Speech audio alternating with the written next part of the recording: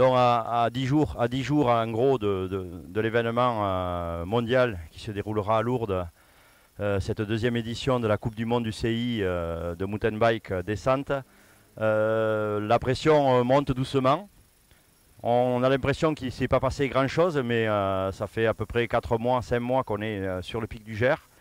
Euh, et également sur des bureaux, sur des ordinateurs, afin d'essayer de régler au maximum l'événement, qui sera encore un événement mondial.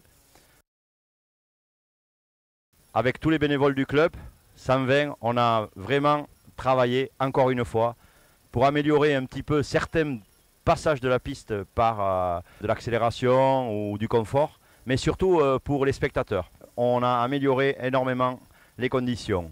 D'abord, euh, du départ jusqu'à l'arrivée, vous allez pouvoir suivre la piste, à côté de la piste, avec bien sûr les balises de sécurité, mais vous pouvez monter, on a aménagé des espaces, on a fait des escaliers type montagne, on a nettoyé, nettoyé et nettoyé pour pouvoir bien accéder au bord de la piste. Donc je vous conseille de suivre la piste et de voir plusieurs passages sur les trois jours. C'est toujours spectaculaire d'aller à plusieurs endroits. Nous avons travaillé l'arrivée afin qu'elle soit plus spectaculaire, plus vivante et qu'elle corresponde plus à notre sport. Donc vous aurez une passerelle, mais la passerelle, il y aura surtout un saut d'arrivée qui sera euh, vraiment euh, agréable à regarder. Le samedi et le dimanche soir, nous aurons des animations. Voilà, des animations qui se dérouleront cette année sur le paddock avec euh, un espace qu'on appelle c'est l'espace euh, euh, animationnp.com qui sera un espace de 300 mètres carrés où vous aurez à la fois du trial, du freeride, du dirt, du BMX, mais également des spectacles pyrotechniques. Vous aurez également de la musique avec le car event Red Bull. Et puis voilà, tout un programme d'animation euh, qui meublera de, 17h à 22h sur le paddock. Euh, beaucoup d'animation pour les spectateurs. Et on va faire comme un village, comme un cirque.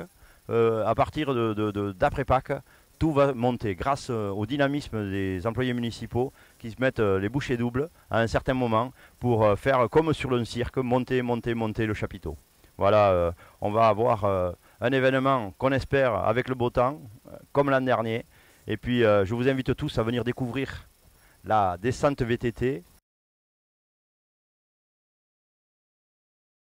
Vous allez voir euh, des gros teams américains, des teams australiens, des teams euh, néo-zélandais. Cette année, on aura même une équipe, l'équipe de Colombie, l'équipe d'Espagne, l'équipe du Portugal, l'équipe d'Irlande. On aura 30 nations différentes, plus de 250 pilotes qui vont s'affronter une nouvelle fois sur les pentes du Pic du Gers avant de rejoindre l'Australie dans trois semaines. L'organisation euh, cette année 2016 de la Coupe du Monde euh, s'est structurée très très bien grâce avec euh, au niveau de la sécurité, de tout ce qui est secours autour de Jean-Michel Abadi. vous avez au niveau des bénévoles, c'est Jean-Michel Nogues et Marc Artigas.